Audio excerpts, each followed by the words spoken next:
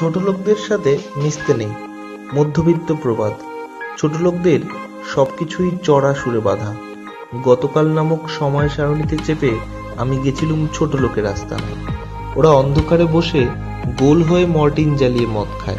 সাথে মুড়ি, বিশেষ দিনে মুরগি শুয়োর, নইলে মুরগির ছাট। ছোট লোকরা সব কাজের মানুষ। দিনভর খাটে এখানে ওখানে, নিজের ভাত নিজেই আনে জোগাড় করে ভদ্রলোকের মতো।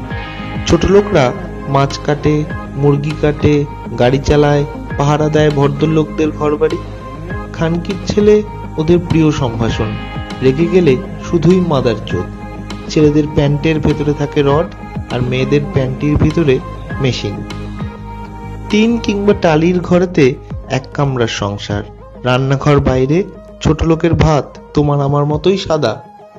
আমি বাংলা ভাষায় ছোট লোকদের কবিতা লিখব বলে বস্তিতে গেছি। ছোট লোকদের মন্দিরে বসে গাজা বানিয়ে ওদের রীতিতে প্রসাদ দিয়েছি মহাকালকে, যত্ন করে গাজা বানায় বস্তিতে। কোনো মধ্যবিত্ত চাইলেও পারবে না ওসব করতে। ছোট লোকদের প্যাশান আছে, কি কাজে, কি মাগিতে, কি গালাগালে। মধ্যবিত্তর শুধু ভয় আছে, পকেট ভর্তি, পাছা ভর্তি, ছায়া ভর্তি ভয়।